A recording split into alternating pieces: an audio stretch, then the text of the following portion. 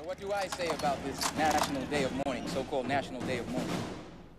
I say the white man's acts of violence should be condemned, not only by our beliefs, but by his own. Now, the Holy Quran teaches us that those who work evil will be condemned or punished or judged according to their works. The Holy Bible teaches us that you reap what you sow.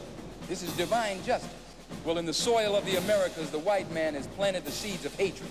He's planted the seeds of violence.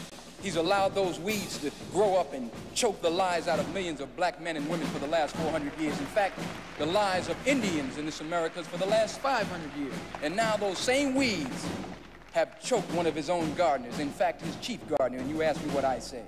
I only say what the Bible says. I say what the Quran says. I say it's justice. Assalamu alaikum.